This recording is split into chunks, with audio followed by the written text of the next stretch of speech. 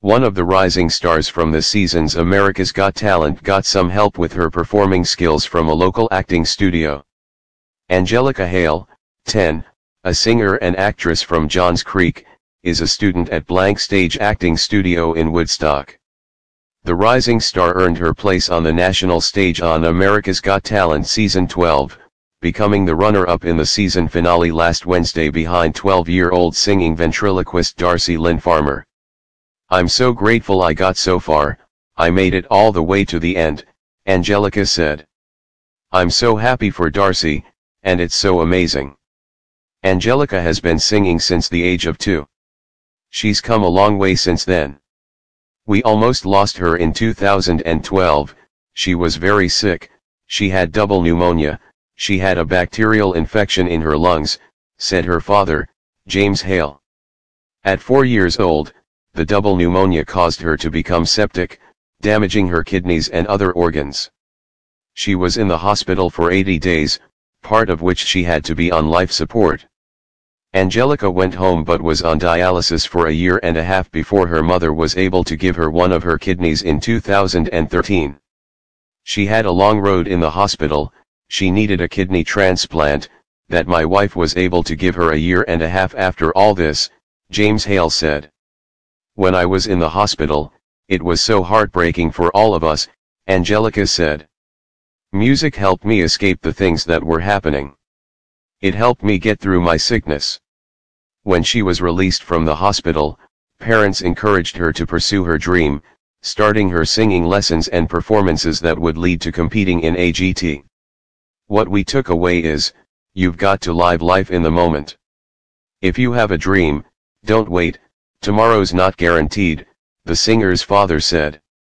When she got out of the hospital, we said look, we think she's got this talent, let's encourage her to grow and develop and see where it takes her. Anthony Michael, owner of Blank Stage, knew she was a talented actress before he heard her singing voice. She was hired for the promotional video when the studio was opened in December last year. She got on stage one day and got on the mic around Christmas, and I heard her sing for the first time, Michael said. I said to her dad, you need to get her in a competition, she's amazing. The Hale family was already in contact with the America's Got Talent producers by then, he said. The multi-talented performer has the support of her friends from the acting studio.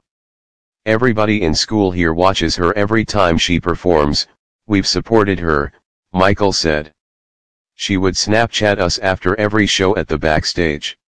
She's absolutely admired and adored by everybody. The performance that earned Angelica the No. 2 spot was a soulful rendition of Symphony by Clean Bandit in the penultimate episode for the season, which aired Tuesday. The song reminds the singer of her relationship with music, she said. I want all my songs to have some kind of meaning. Symphony, was between music and me. Music and I have such a big bond, she said. Also, it was for my sister Abigail. Even though she's only three weeks old, we have such a strong connection. I love her so much. For the final show, the runner-up teamed up with fellow AGT singer Kechi for Kelly Clarkson's Stronger, where they were joined by Clarkson herself. Angelica will join some of her fellow contestants later this fall. She will perform with Farmer, the dance group Light Balance and comedian Preacher Lawson in Las Vegas November 3 at the Planet Hollywood Resort and Casino. The young performer plans to reach even bigger heights after the show. I plan to write my own songs and start publishing them and performing around the world, she said.